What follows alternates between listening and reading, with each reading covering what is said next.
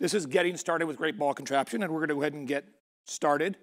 Uh, starting off with why you can listen to me. I've done this for a long time, and I've watched lots of people get good at it, so maybe I can help you too. There's more reasons, but mostly it's because I'm passionate about it. I think ball contraption is a lot of fun, and I think at least a third of you will have fun doing it. The rest of you will just get frustrated and bounce off, but that's still fine. Um, what is a ball contraption? It's, you know, the, ball, the things that constantly move and reduce your Lego gears to dust. There are things to, you know, learn how to use gears and so on without having a car that drives against the wall of your apartment and crashes and then you're done. Uh, it's a device to move balls from a hopper to a hopper. You've seen them downstairs. You probably have seen a ball contraption on YouTube if you're showing up for this talk, otherwise you wouldn't be here. Um, but it's, it's one of the little sub things and it's very mechanical. Uh, if I was cool with PowerPoint, I'd have a slide here with a video and stuff. But the formal standard, so the way that ball contraption works for everybody is that there is a standard, and because we all use the same standard, we can all show up at a convention and have things just link up together. For the linkages to happen, we have to follow the standard. The input hopper is the first 10 bricks high, 10 studs wide, at least, well, at least 10 studs wide, at least 10 studs deep. That's, that's a hopper right? You can be wider than that, you can be longer than that. There's reasons for that it's useful. And then some way of moving from balls from one section to the next section. Like we were joking earlier, if you had a hopper, I would recommend doing those two hoppers. Balls come into your hopper, and every once in a while you take the empty hopper and replace it with the full hopper and walk and dump out the next hopper. That is a legal ball contraption. It is not one I will operate for you while you go to the bathroom. If you bring that ball contraption to anything that I'm at, or I'm a theme coordinator for, you will be there all day moving from hopper to hopper, but that is legal. It's some method of moving balls from your input hopper to the next person's output hopper. Anything you want to do between there is legal. Um, there are three extra details. You should be able to handle, you should accept up to pulses of 30 balls over 30 seconds, and you should outball, output 30 balls over 30 seconds yourself. So that's the formal standard. We have a couple of extra ways of writing that up on signs down around the uh, contraption, this, this convention. In practice, in real life, very few conventions run one ball per second persistently. So if you are not reaching one ball per second, you're you know three quarters of a ball per second, we might still like you. There are, if you're dead reliable at you know three quarters of a ball per second, that's probably fine. Pulses are much more likely to be five or 10 balls. There are folks who have attempted to build modules that do exactly 30 balls and an output every 30 seconds just to be persnickety. But in practice, if you have a problem with a 30 ball surge, we can put somebody upstream of you who will give you one ball per second. They will already broken up the surges. We're much more happy, or I as a theme coordinator, am much more happy to have more people participating than saying, oh no, you're not to standard, we're not going to include you. I don't know if any remember several years ago, Thomas Mueller used to come to place to conventions and bring six foot tall ball contraptions that would bring things up. Let's, you know, he had to stop building because the ceilings were too low. That weren't technically legal. His hoppers were illegal. His output rates were not always correct. But their visual spectacle, of course, we're going to make that work. We have ways of getting around that. Sub loops, like we don't all have to contain. We can have a small section where it's just, you know, Alex's stuff is working, so we'll let Alex self circulate while Kevin's stuff gets worked on things like that. When you are doing your designs at home, definitely the input hopper is non-negotiable, 10 bricks high. I strongly recommend, if you're coming up with your own designs, output at 12 bricks high. Just a little bit of a drop, but that lets you put a ramp in later so you can actually do some testing. It gives us some safety factors when you're trying to connect modules together. If you're coming out exactly at 10 and their hopper is exactly at 10 and then, oh, someone put a plate or a tile somewhere, or they've got a base plate, or even the table isn't level, exactly at 10 can be more challenging. So push out over 10. So now we're talking about the dream module, the ideal module. I've never built one of these, but these are all things you can think about in ways of, you know, you've built something, you're excited about it, how can you make it better? Never fails. This is the most important one. The best way to enjoy ball contraption is to have something that works so well, we won't believe you when you show up, but you could show up, walk away from it, and never have it be there. Reliability is the key. If something goes wrong one time in a 100, that's every two minutes. If something goes wrong one time in a 1,000 at one ball per second, four times an hour. So if you have a thing that works just fine for a little bit, you have not tested it. You are not reliable. You don't, you're not confident. If you show up and drop something off of the table because you're sure it's reliable, people are going to make faces at you if you're nice. I mean, that, that's the best case scenario. We're not going to believe you. After two hours of the show, when you've been running just solidly, then maybe we'll be happy to say, yeah, go out and get lunch. This is fine. We'll got, you know, someone will watch this for you. But reliability is the most important thing ever. No jams, no spilling, no balls resting someplace, although that one's much less of a problem. It should be beautiful, original, and displayed for the first time because we're asking for the ideal module. So every time you come back to BrickCon, I want a new, perfectly functioning, original module, brand new mechanism, all of that. Has an understandable mechanism that everyone who sees it can understand and be happy with. From a three-year-old to the you know, PhD in engineering who shows up here. Uh, runs exactly at one ball per second, but you can toggle the rate. Isn't that handy? Oh no, someone downstream of you is having a problem. And you need to speed up, slow down. It's ideal if you can do this. It's not required. The standard is one ball per second. But if you can do better than that, then you know, do better than that.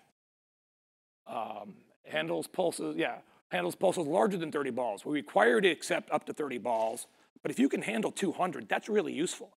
We can take a very full hopper because someone's had a problem up, down, or somewhere else in the loop, dump that whole thing into your module, and then, then you'll just start feeding them out, and we're done. More than 30 is a feature. No one's going to complain if you have a 200 ball hopper. Um, can easily convert into a recycling, a recirculating loop.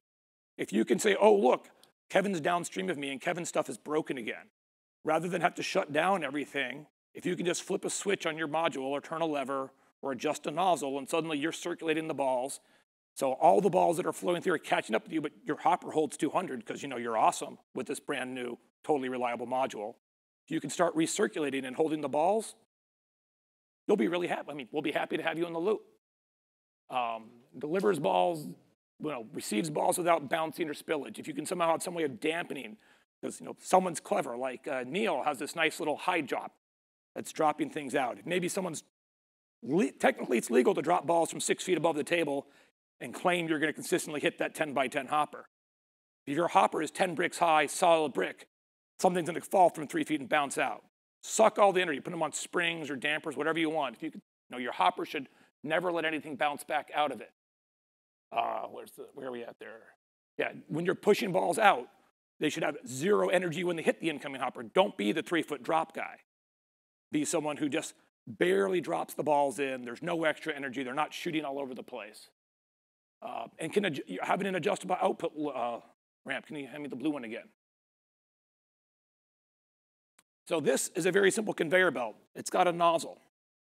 But because Neil is clever, you can put extra axles here and suddenly it's longer.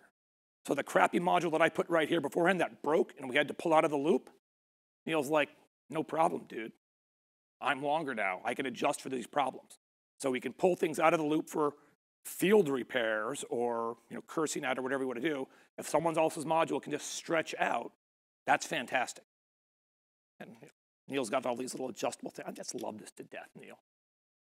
The hopper is accessible from three sides. By standard, you only have to be flat coming on this side. No, we're pushing through. If you can come in from all the sides, you're good for corners. Corners are good. They you'll, you'll notice downstairs we're in a square. Anyway, being able to feed in from all sides is better than being able to feed in from one side. It's not required, but we're talking about the ideal, not the minimum. I mean, there's nothing wrong with a gentleman's C, but strive for A pluses. At least some of you should. Let's hold them to the end, please. Uh, three sides. Oh yeah, and it's hard to break. Should be sturdy and easy to transport. And of course, the dream for everybody, quiet. GBC is, I think, the loudest, well, no, I think Kidbrick is louder than we are. But there's all the motors running, there's balls bouncing. It's, if you made a quiet module, if we could tell, we'd be very happy with you. So, like I said, I've never built the ideal module. Do not let this be the, don't let the perfect or the ideal be the enemy of the good. If your first module doesn't do these things, that's fine. The things you have to do, honestly, the things you have to do are in theory, you, you kind of like show up with something that mostly works and we will try to accommodate you. But once you are, you know, striving to do better, we want the ideal. Just some little discussion about what the anatomy is. We have a previous module. We've got a hopper section. We've got an agitator so that when your balls are in your hopper, you'd be surprised how sturdy of a bridge round things can be made, used to make. The balls aren't perfectly round and they aren't perfectly smooth, so there's, you can build an archway of four balls pretty easily. So having something that stirs your hopper, knocks the balls into each other so they'll have more of a tendency to fall, isn't required, but once again, is a feature. It keeps you from, it helps you keep you reliable. The mechanism, the miracle occurs. The conveyor belt, the person who's willing to sit there all day, a pump, uh, turning all sorts of different things. And then delivery, your output nozzle. That's the thing that could be adjustable or not. Right into the next one. These are the sort of the terms that I like to use when I'm discussing ball contraption stuff. Now you're to get started. So the parts you're going to want for a ball contraption. Um, these are no longer, this, this slide is a bit dated because all this stuff is even more out of print or even older now. The power, I, what I'm to say right off is you don't want a battery box. Batteries, the power goes down as, the, as they get older, and then that turns your motors at different speeds. So you can imagine if you ran this at 10x the speed it's supposed to be, it's not a conveyor belt, it's a conveyor flinger. The very the, the second ball contraption I ever built was, you know, involved a turning mechanism. When I finally got it working just right, I put the battery, put new batteries in it, and I had built the ball flinger. So if you're not running off of wall power, you know, it's theoretically possible, but you've made your life that much more difficult. Uh, you want something that you can plug into the wall. So the old 9 volt train controllers are ideal. They plug into the wall, you can tune the power as much as you like. But once again, they've been out of print since 07. So I am trying to figure if there's anyone here young enough that before they were born. We're probably not quite there yet. But the train controllers are harder to get. They're getting more expensive every year. Um, but, and then if you do get the train controller, you need a magic converter wire. As exists now, there's the power-up stuff. I haven't actually worked with any yet. There's Mindstorms. There's lots. There are other alternatives. There's Chinese knockoffs. Um, I'm not going to tell you not to use Lego pieces, but these things do exist. Uh, balls. You, you obviously need some Lego soccer balls. I once again won't say that you need that you should go off and buy the knockoff almost balls, but they're a lot cheaper yet. I mean, these are still available at Bricklink. They're back in print on and off. I think you're all allowed to know about bulk lug as a thing. You can get a bulk lug, or if you can convince your lug to include this as one of your pieces for bulk lug, you can get a lot of them, and you probably should, because the minimum I'm going to recommend you start with is 30 so you can test your pulses. 300 is not a bad number. Um, most of the conventions in the Pacific Northwest, the convention will supply balls for you, so you don't have to bring those with you. You don't have to have a huge supply of balls. But for testing at home, the convention is much less useful to you. Uh, so yeah, you need some way of powering your module. You need a collection of balls. There are third-party solutions now if you don't want to pay for the outer print parts. And I won't judge you. I'm not sure other folks won't judge you, but I won't judge you. I think it's more important that we're playing than we're remaining pure. So how do you get started with the ball contraption? Now we've talked about what ball contraptions are. How do you actually get started? Starting off with an idea is, you know, what is where's your source of ideas? Nowadays, like for the past five years, you don't even need like an idea. You have to decide you want to do this. There are lots of places, yeah, and I will publish all these slides later. You can take the photos or not. There are lots of websites like the Great Ball Contraption, Rebrickable, Planet GBC, all sorts of places where folks will have flat out instructions with parts list. It's not, I think actually, one of the sites in China actually puts together as a kit for you right now. Can't guarantee the quality or anything else, but you, starting off has, no, has never been easier. You can decide you want, uh, start with a kit. There's convention models where those are all published. I did a convention model at Bricks Cascade a few years ago that was designed to be with parts that everyone, I'm not gonna guarantee that all of you have these Lego at home, but you probably do. And if not, you could leave this building with them at this convention, the, the parts you don't have, Reese do. You can go onto YouTube, you can look at the world around you. There's just lots of ways to get ideas to start on ball contraption. I mean, I, the cranes at the harbor. I mean, from Bellevue, you don't see the harbor as much as we would have from the other location, but I have built ball contraptions inspired by cargo ship loading containers. Like, I could, look at that, that's moving. I could turn that into a ball contraption. Um, yeah, and then my attempt to make a clever acronym, you're gonna come up with the idea, you're gonna try to build it. You're gonna look at it and test it, you're gonna review it, and it's not gonna work. You're going to have problems. You're going to run it for 10 minutes and it's going to explode, it's going to spill. Figure out what went wrong, improve it, and go back to start. Even if you just got it from a direction kit and you put it together exactly according to the directions, you're going to start running it and it's not going to work right. Anyone who brings a working ball contraption has built a ball contraption. Doesn't matter if it's someone else's directions or anything else, actually getting it to work. I, I can know John will testify with me. He has built a lot of things from other folks' directions and then spent a lot of hours getting them work to a standard that he's satisfied with. That's even before he makes it pretty. Nothing ever works. This, I, I don't mean to depress you. But nothing will ever work. And if you've tested it for two hours, you know what you don't know? You don't know how well it runs after it's run for two hours. So after you've run it for four hours, you don't know how well it runs after it runs for four hours. So you can never do too much testing. You will always be dealing with it. So don't feel bad if you run it for 20 minutes and it explodes in a way you've never seen before. You are not a unique failure. You are now just one of us. The, if you're not, you're going to be owning iteration. The, solar, the, core, the core part of ball contraption is you have an idea, you're excited about it, you get it working mostly. And then you get more and more to your mostly as time goes by. And then it's so cool when you actually do get to the four hour mark. You're like, you know, like I usually hit my groove Sunday late morning. So Saturday is stressful. And then on a good convention show for me, after it's been running for six hours, finally I'm like, I'm gonna sit down. I'm not gonna actually read my book, but I can like listen to a podcast or something. You can just sort of look around and see that nothing's broken. Look around, oh, something's broken over there. That's not mine. Someone on it? Oh, good, they are. I'll just keep sitting here. But that's, you know, I have been doing this for 10 years, so don't count on sitting down a lot your first couple of years, depending on how ambitious you are. When you are learning to, these are the things that I've learned about decreasing my cycle times, shall we say. Put a motor on it as soon as you can. You've got this mechanism sort of working, it's kind of moving, put the motor on. Turning it by hand is very easy to cheat yourself because you can, you know, oh, it's a little draggy here. I can push harder and make it work. Or you can see when things start going wrong and consciously or not change the rate, or even just your hand doesn't move as fast as a motor. So things that work perfectly well at 1 RPM might not work at 200 RPM. So I, I strongly encourage you, get your motor, get your mechanism set up, and even before it's ready to move balls, see that it's working. See that your chain, your belts are connected, your gears are all working together, because it's much easier to fix it the sooner you catch the problem. Um, but being able to hand crank it is also useful. As I was describing earlier, you turn it up to a motor and you can see that it's pulsing, it's throbbing. What's going wrong there? But at 200 RPM, it's hard to see at what point of the process is there a problem. If you can turn it by hand, pop the motor off and turn a crank, or if you're super cool and use a differential so you can put the power in from two different ways, it's an advanced lesson. Um, then you can sort of feel, oh, it's tight here. Why is it tight here? Oh, it's tight here because these pieces are rubbing.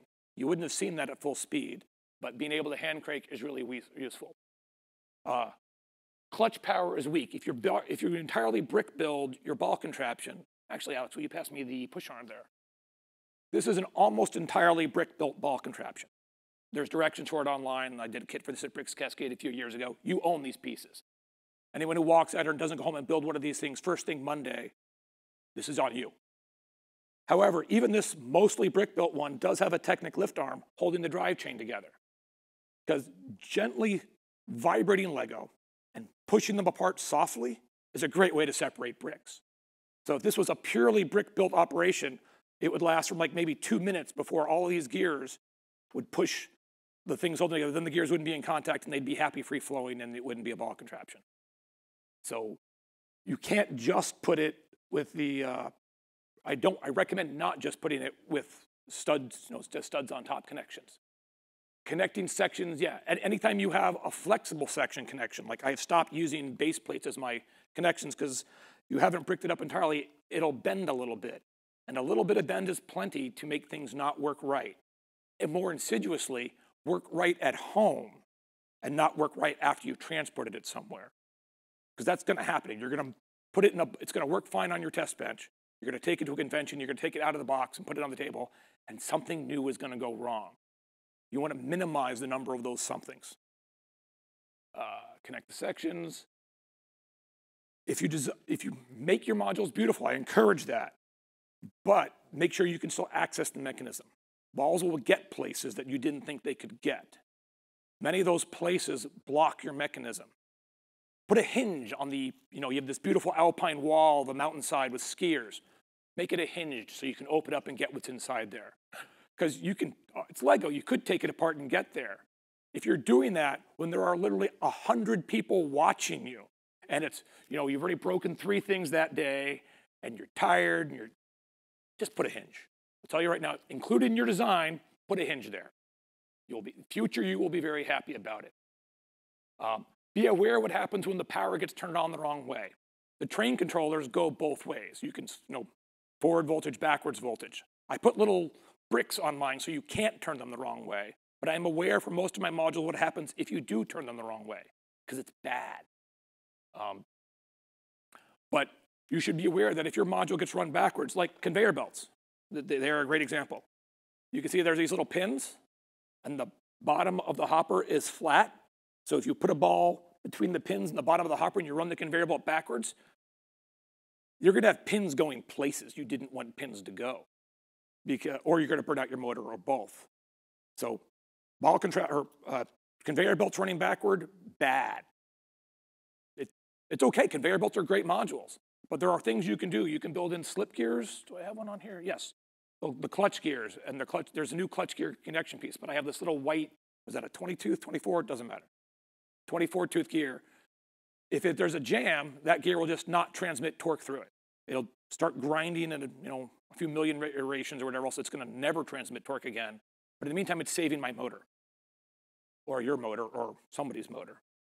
Uh, so be aware that sometimes there's going to be a jam. Sometimes people are going to be helpful and turn on power in ways that you didn't want power turned on. And that's going to kill your model. Perhaps be a little defensive about it. Because you know, ball contraption is a team event, like I was saying earlier. Right now we have 10 builders. I think we got a count of 10 builders and 50 modules. No one person is going to be there the whole time. Sometimes someone's going to be babysitting your thing, or they're even not, you're going to be there and you'll have a problem in your first module and you're looking at it. And then something goes slightly wrong in your other module, and somebody, maybe me, is going to try to help. And imagine I'm an idiot. It, it's a giant leap for most of you, I'm sure. But I'm trying to help, and I'm going to do something that's even worse that you know not to do because you built this thing. Try to make it idiot, idiot proof is not even on the ideal list. Idiot resistant is the goal. If something, what are the obvious things that go wrong? Is the power going to go backwards? Is the ball going to get stuck here? How to make that not be explosively frustrating. And on that same note, yeah, we talked about having an agitator to stir up the balls, a testing jig. So what are the great advantages of coming out at more than 10 bricks high, like with this little hopper or this little conveyor belt? You could easily build a ramp that go, you know, a little thing that catches the balls and pushes them off to here, or I would push off to this side over here, and then drop them back in your hopper. And you can work on just this module on your bench. All the problems that you're getting are with this module or your ramp. But I mean, ramp problems happen all the time. You don't have to worry about that so much. Your ramp spills, that's not what you're gonna use in the show, but you can figure out what's going wrong with this module by testing in place. And that's another reason to have the um, output 12 bricks high or 13 bricks high or 15 bricks high. Like, I don't really recommend 24 bricks high unless you build a cool downslope ramp, which people love. Talk about that later. But being able to build a testing jig to test just your module without having to get other things in process. Because if I were to try to test this module and this module, and then I notice on the table that five balls have spilled, which of these ones is the problem? I mean, I know the answer, it's this one. But um, that's because I have a lot of faith in Neil, and this is a solid, and I, I have a lot of not faith in that.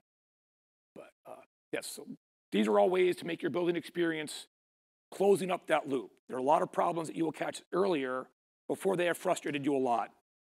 And then you can move on past them to the new and interesting problems then you come talk to at a great ball contraption. You come to the, one of the great things about the teamwork of ball contraption is you can pull up one of the modules from under the table that is not ready for prime time. Say, look, I've got this conveyor belt, but every Thursday it launches things and hits somebody in the eye. Do you guys have any idea why this is happening? And why is it only on Thursdays? And there's a good chance that someone at the table tried to build one of these things and like, ah, that only happened to me on Wednesdays. But I see you're using gray pieces where I used yellow pieces, so I bet that's it. But having someone else who can talk to you about it is helpful too. But I couldn't, that was not my experience. I started ball contraption in 2006. No one else was still, I started it after it was new, but before it was more commonplace. So I had a lot of um, self discovery that I would rather you avoided. Uh, like I said, being able to hand crank, did I cover all of that? Pretty much, yes. Being able to disengage the motor easily. Um, like a very exposed motor is often handy because sometimes things go wrong with motors. Being able to pop them out and replace them is easy. Also with this motor, you can then pop it out. You can imagine I could then put a gear on it and turn it by hand. It's accessible enough. Um, the other option is having exposed gears and being strong, but that I'm, I do not think it's actually bad to treat your motor like a generator, but I don't recommend it. Uh, so yes, being able to hand crank helps you diagnose problems. It's a, it's a design feature, but it's not even on the list of things for the ideal module, because that's something you should have worried about at home. Once you bring it to the convention, unless we're in the degenerate case where you want to sit there all day and be the source of power, which we really don't recommend. Um, oh yes, and here's the other visual part. When we're talking about snot being bad, or excuse me, clutch power not being sufficient for ball contraption, you can still build your ball contraptions out of bricks. You just need to reinforce them. This is probably old news for many of you, but lift arms, can you, there's that other pouch. Yep. Uh, split this bag and start circulating in opposite directions. You can reinforce using the Technic bricks, the bricks with the little pinholes in them. You can reinforce those with lift arms, and then they don't separate. Lift arms are really strong under tension. You can use snot. You can get those little jump, or the bracket pieces is what I call them at least. I don't know what brick links. Anyway, and then you use brackets with a plate. Suddenly you've got extra reinforcement in a way that is transverse to the load. You have to break the Lego piece to make this thing separate. So, you know, brick built can be lovely, and then you reinforce it, and then it will run for hours. Um, and I said, because you're gonna run it for hours. Even the parts that aren't under tension, when I run this bad boy at a show, like these parts aren't under load. I still go around regularly and just squeeze them down because it's vibrating all day long without my thumbs on it. Oh, there we go. It'll come around. We're just circulating the rows. So it should get to you eventually.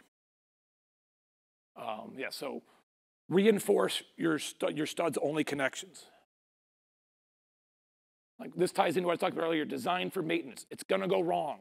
A long, narrow tunnel that you cannot access with balls, I guarantee you there will be a ball jam in there. I don't know how it will happen, but it will happen, and then you'll have to tear the whole thing apart. And then, you know, unless you're a really patient person, that will make you sad. Uh, access panels, things, a reset lever, agitators that move things around, even just a place where you can stick in an axle to move things along when they do get stuck. It's terrible for diagnosing, but at least at a show, you're making the balls move again. And if it only happens twice an hour, and you're going to be there, and then you can tell people, oh, by the way, I'm going to grab lunch. If this stops flowing, poke it here. Not a great instruction, but it works. Testing jig, we talked about these earlier. Ooh, I didn't bring, there's the Technic panel, 5 by 11 by 1. We've got these in our, they are so good for building ramps all the time. There's an excellent chance if you come by the ball contraption table sometime this weekend, you will see what used to be a module replaced out with a ramp made out of these panels. Um, they're reasonably flat. They go together in reasonable lengths quite quickly. I am hugely fond of those for jigs. Bricks on their side are also a really good way to build ramps. I used to do it that way. Alex still does. He's wrong now. but um, it's very easy to get a nice long stretch of, you know, one by eight bricks. Then you can build little plates on the side so you've got a channel. Those will go wrong and they're quite rigid. And then, yeah, there is no substitute for testing.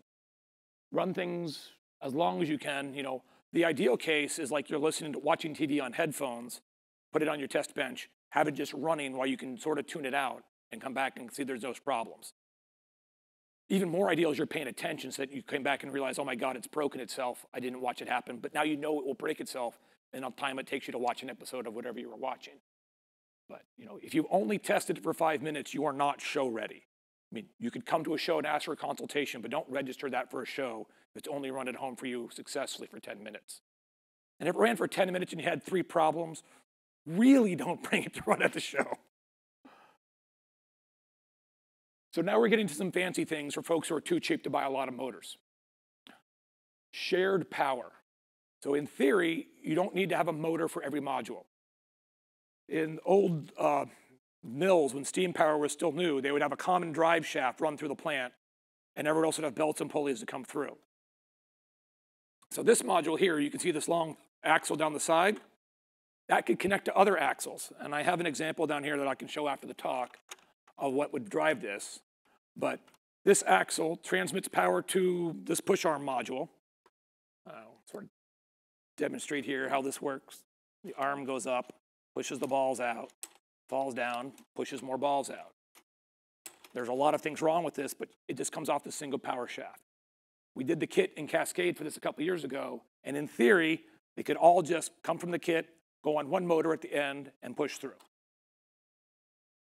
I have a particular design for this shared power standard where it has this right here, and if you build to that standard and you come to a convention where I'm at, I'll be happy to power your module.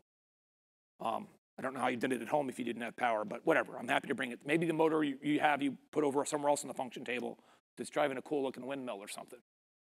But now I am not the only standard. There's lots of flaws with this standard. The location isn't aesthetically pleasing in many ways. Perhaps my RPM isn't good for you, um, whatever else. But on the internet now, because everything is on the internet, and some of it isn't pornography, um, there are a few other folks who have come up with their own shared power systems that you could look into doing or come up with your own. These aren't, you know, maybe you have a better answer, and four years from now, I'll be using yours because I've burned out all my power standard modules. But don't be daunted after you build your first module and you haven't bought another motor yet to say, oh, I'm done. No, you don't have to be done. I mean, you should be committed, but you don't have to be done. So yeah, this is the little module. This is the power standard that you know, Alex and I, and I don't know if anyone else, Josh does it too now. Have you done this? Yeah, and then you got smart. Um, but what's cool about this mechanism, and I forgot to steal Neil's laser pointer, is that the way those two gears are nested is a kind of clutch. If you run this the wrong way, which we were talking about earlier, it just turns off, or the gears just bounce open and no power is transmitted. Which is really important because you, like I was talking earlier about conveyor belts, run conveyor belts the wrong way. Imagine you have a chain of eight things, and one of them is a conveyor belt, and suddenly you turn it on in the wrong direction. I mean, this one just doesn't work run backwards, that's fine. But the uh, conveyor belt's catastrophic, so that's how we prevent it from happening. Alex's idea. So get clever friends. That's also one of my suggestions. At the show, this is sort of an etiquette question as opposed to exactly ball contraption. And if you just want to do ball contraption in your house and never show anyone, you can skip this slide. But that, I think the people in ball contraption are at least a third of the fun. Probably not more than three quarters, but at least a third. Um, talk to your CEO coordinator, tell them what you're bringing, uh, show off you know, how much space do you need, make sure you're there to do your setup. This, do a walkthrough of the whole loop before the show. This is something I've only been able to do a couple of times, and it's been amazingly helpful. Because once again, you're going to want to go out and eat lunch, or maybe go to the bathroom, whatever those silly biological needs you have. You're going to abandon your modules. And the thing that you know how to fix with just a tap of your finger, because it happens three times in the eight hours of testing you did, right? Because we're all testing for eight hours, um, at least. We don't know that. We don't know we can just tap it. So instead, we're going to do something more drastic that seemed like a good idea at the time. And you're going to come back and your contraption is not going to look like you recognized it. Having had a chance to go around and talk to people and say, no, the immediate action when it starts making the growling noise is to shut down power in the building and leave. Um, we need to know that before we all start babysitting your machine.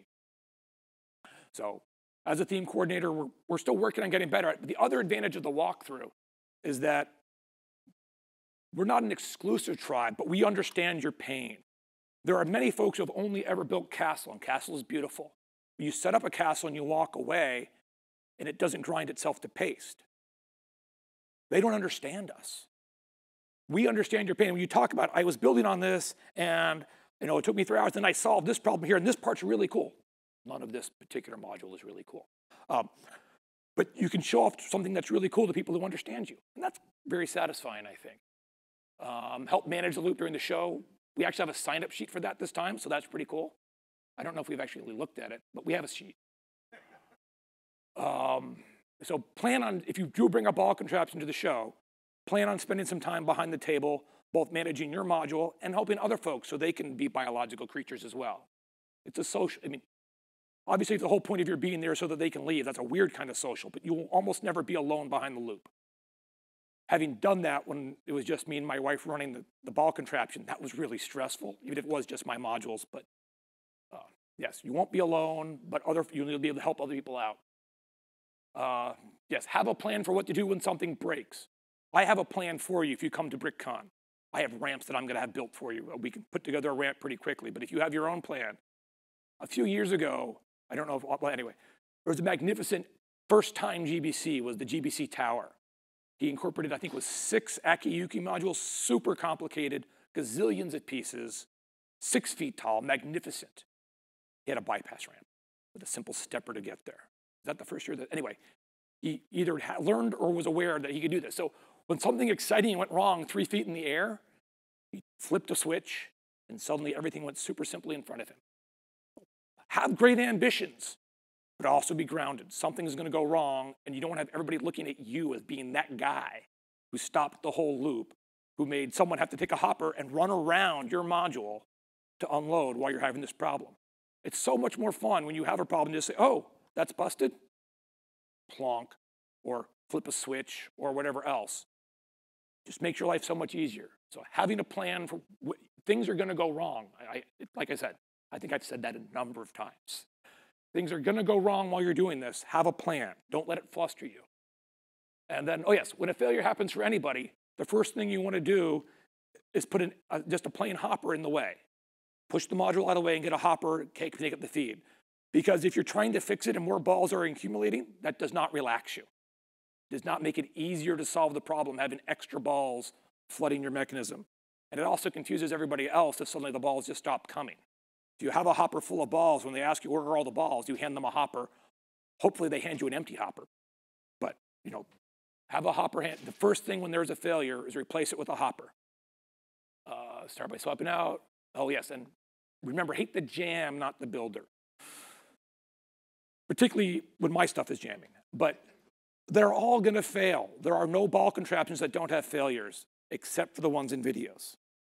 And I, I, I can't prove that they were all one take videos, but all ball contraptions are gonna fail. It's okay. It's, I won't say it's part of the fun, but it's part of the satisfaction of clearing them. So it's not, you know, when someone has a lot of jams, then we can make fun of them. But in a good nature way, these are ways we should solve your problem. Perhaps the way we think we should solve your problem is replace you with a ramp and then you come back next year. But, we're all people, we're all here to have fun. You know, if the public's not seeing a giant spectacle right now, well, they could build ball contraptions and do better next year. Uh, yes, tools to bring. Um, ooh, can you pass into poker? A poker. Your fingers are not this long and this skinny, I think. I mean, I'm not judging, but this can reach places you can't reach. I will say, as an addition, most of the time, if there are balls inside a mechanism, don't go there. Wait until the end of the show. We, we have plenty of balls to run around. You think you can get in there and not break anything. You are fallible. They are fragile. It's not a good combination, particularly if it's somebody else's module. Um, I have seen beautiful three foot high wheels that you almost could get under, and someone trying to be helpful went under. And they felt bad, and luckily the builder was a good sport, but that model was out of the loop for the rest of the show because it fell over and fragile, falling Lego. We know how this works. It was not refixable in the time frame. So be sure you can, you know, better leave it. And if it is yours, you know, know some ways to fix it. Fix it when something else upstream is jammed so you can turn it off. Spare hoppers, like we were saying, you always want a spare hopper around so that when your module fails, you swap your module for the human GBC pair of hoppers going around. I like fatigue mats. The carpet here is nicer than bare concrete, but something to soften your feet because this is not this is not castle. You're not sitting on a chair. You can't just go wander away and be comfortable. You're going to be spending a lot of time behind the fence dealing with the ball contraptions. You're going to spend a lot of time on your feet. Might as well be comfortable. And comfortable chairs, yes. Um, if you have a favorite folding comfortable chair, you should probably bring it. I have some camp chairs this time. They're not my better favorite comfortable ones, but they're better than no chairs, which has sometimes happened.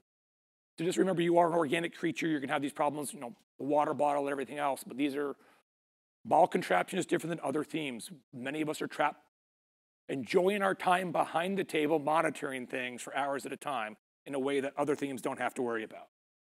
So make it easier for you to manage things, make it easier for you to deal with problems, make it easier for you to be comfortable while none of these things are happening. You're sitting there smug, watching other folks behind the loop have these problems. What is going to take to be popular with the public? Sadly, mechanical excellence and everything I talked about in the ideal situation, only the second point, well, no, the first two points, reliable. The public doesn't like things that are broken. The public also doesn't or does like things that are beautiful. So if it's working and it's beautiful, people like minifigs. I, I don't care that much. I like mechanical stuff, but you know, I'm building for me. I'm not building for the folks on the other side of the table so much. If you want to be popular with the crowd, minifigs, making it beautiful, Jeff's cracking a tax module.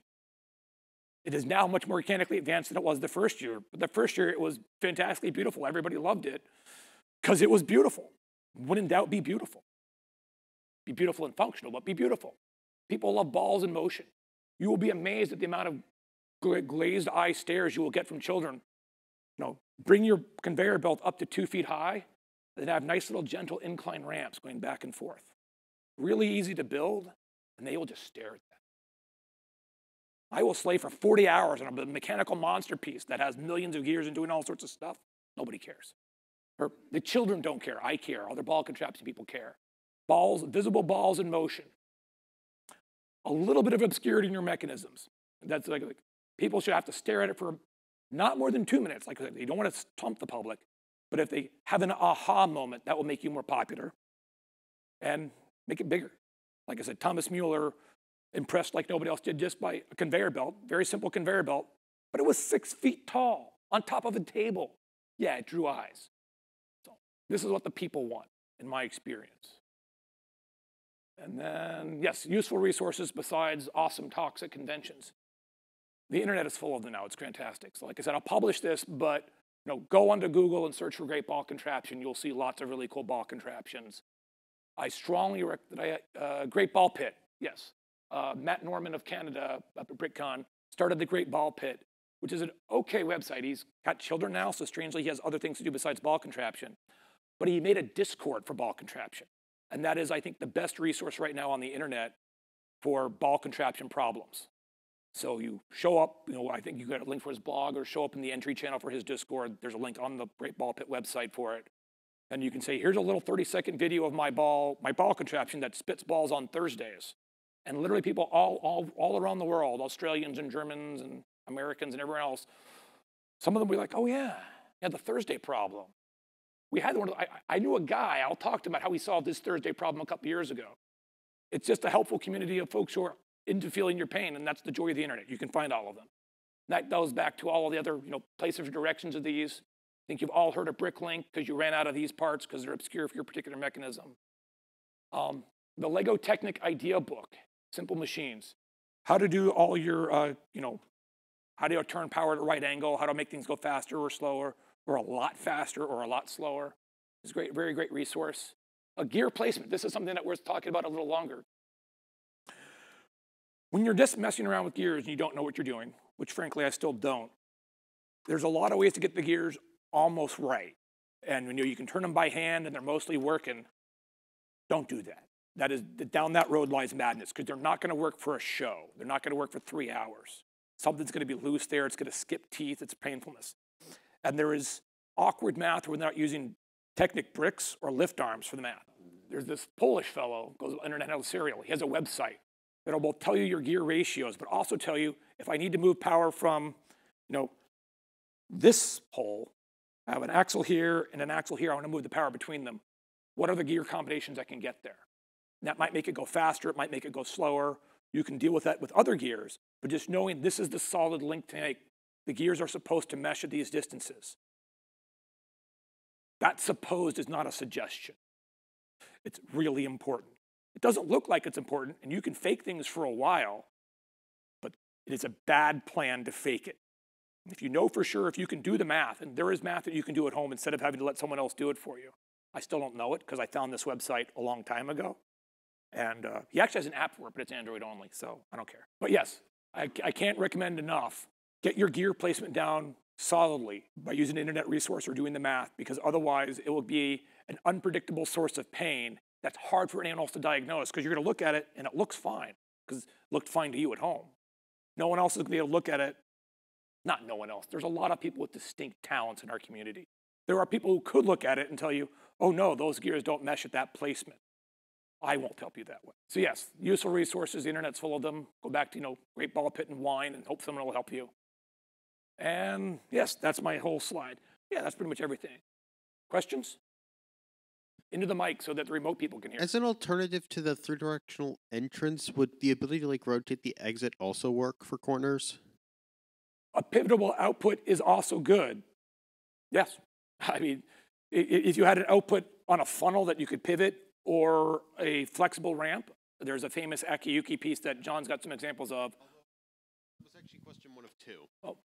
My other question was, would it make sense like put a little booklet with some of the more common problems and just if they have simple solutions to help prevent people from accidentally breaking stuff?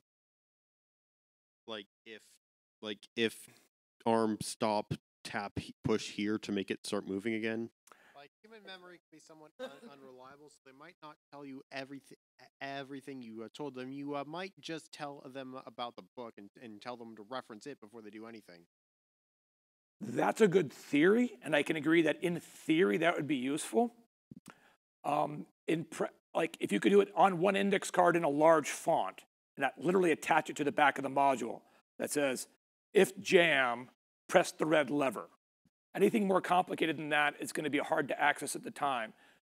It's a high stress environment. There are almost always when problems happen, there are dozens of people staring at you, and you're already tired, and you're like suddenly discovering a problem. It's not a great moment to say, oh, yeah, I'll just go check the index. Or worse, there'll be someone there who doesn't know about your book because most of us don't have books.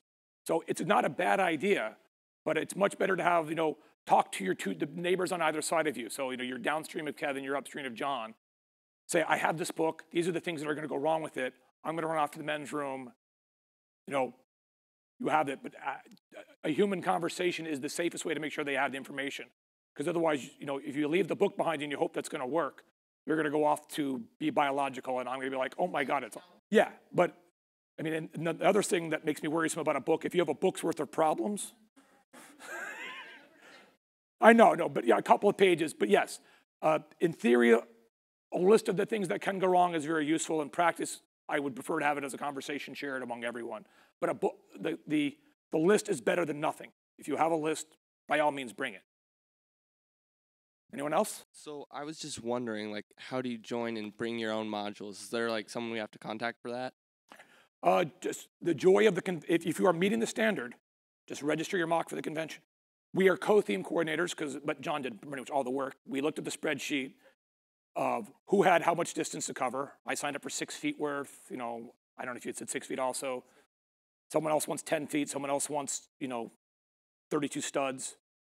That's all you have to do, and then we'll figure out a way to lay it all out. And if you are meeting the standard, everything just works. And for the most part, usually, everything just works. We have no planning other than we all meet the standard.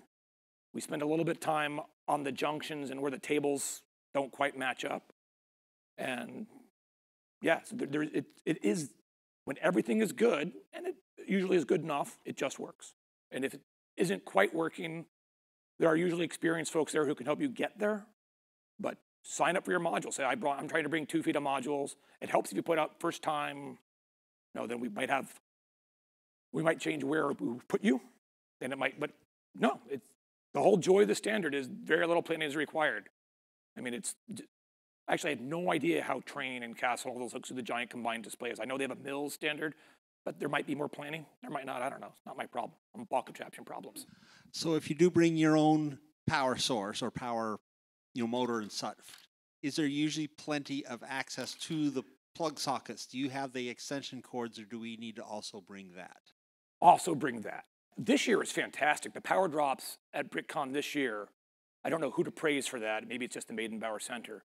This is the best power. That was you? All right. Well, frequently, like power drops will be every 20 feet or something. Uh, so part of my convention kit right now is a 50 foot extension cord and a power strip and I can do all of my stuff off of that. as an extra little note of cool things to get, have your power strip and some one foot extension cords because the wall warts will fill up your power strip very quickly, the warts that go with the, the train controllers. But so you can't fill up the plugs, but if the little one foot extension cords, you can. It looks like a mess, but it's a handy thing. So in theory, if you showed up without extension cords and everything else, someone can help you. In practice, it's better not to need help. Then do you bring your own balls at a show or do you keep your own at home and use only the show's balls? All the conventions in the Pacific Northwest, so BrickCan, Brick Con, and Bricks Cascade, the conventions supply balls, which works out really well. I also always bring balls because it could be that I've arrived on the scene before the convention balls do and I want to test my setup. But it's so much better, and like I, I haven't been to Brick, there, there are other conventions that I don't know that have this policy. But if you are in charge of one of those conventions, I strongly encourage you to, if not have the convention supply the balls, have one person supply the balls. Because that just makes it so much easier to clean up at the end. If you're trying to say, okay, well, I brought 37 balls, but the total count is down eight balls out of the 400 we put into the loop. So what is my fraction of the lossage? Don't worry about it. The convention, I mean, maybe you're traveling far. I don't know what Brickworld does. I don't know what those other places do. I think most conventions are. Has anyone here been to a ball contraption convention that didn't supply balls? Neil. So they're probably planning to do it some, again sometime in the future. That's how you could get started. Just go find those.